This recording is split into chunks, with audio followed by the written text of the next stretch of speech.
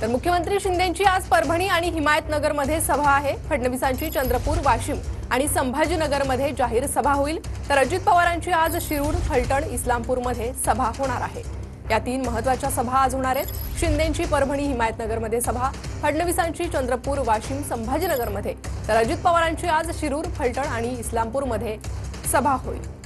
तर सभांचा धडाका सध्या सुरू आहे.